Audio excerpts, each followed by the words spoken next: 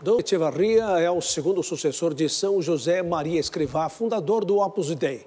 A prelazia, presente em 68 países, foi fundada em 1928 na Espanha.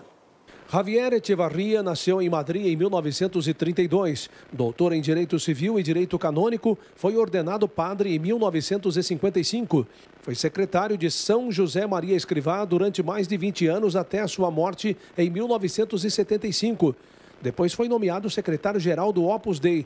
Em 1994 foi nomeado bispo. Recebeu a ordenação episcopal de João Paulo II no dia 6 de janeiro de 1995, na Basílica São Pedro. Era membro da Congregação para as Causas dos Santos e do Supremo Tribunal Apostólico. Participou de três sínodos, em 97 sobre a América, em 99 sobre a Europa e em 2001 na Assembleia Geral Ordinária. É autor de diversos livros de espiritualidade. No dia 7 de novembro, Dom Echevarria foi recebido pelo Papa Francisco no Vaticano. Ele agradeceu ao Santo Padre, expressando a união dos fiéis do Opus Dei ao Papa e garantiu a oração diária de todos.